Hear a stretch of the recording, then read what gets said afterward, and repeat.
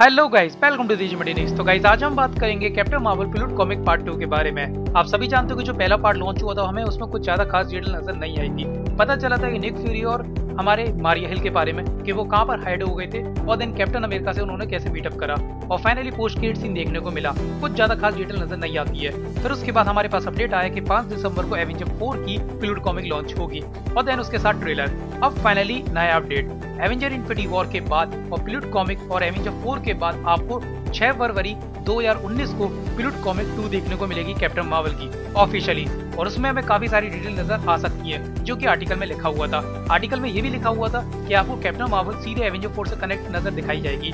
यानी कि हमें जो सारी डिटेल एवेंजर फोर की डिटेल में पता चलेंगी पिलुट कॉमिक में, वो सारी आधे से ज़्यादा एक्स्ट्रा डिटेल हमें पिलुट कॉमिक टू में नज़र आने वाली है। तो ये छह फरवरी 2019 को रिलीज़ हो रही है तो देखते हैं हमें क्या क्या डिटेल नज़र मिलती है। तो गाइस कैसा लगा अपडेट अगर आप ये वीडियो यूट्यूब पे देख रहे हो तो मेरे चैनल को सब्सक्राइब करें फेसबुक पे देख रहे हो पेज को लाइक करें। रियली मैं आपको वीडियो पसंद आए तो प्लीज़ लाइक एंड शेयर करो जो बंद इस वीडियो को नहीं देख रहे हो। या तो उस पर हैंडल के हाथ मारो या पैर मारो। और ऑक्रोच मत मानना। बाय जा रहा हूँ।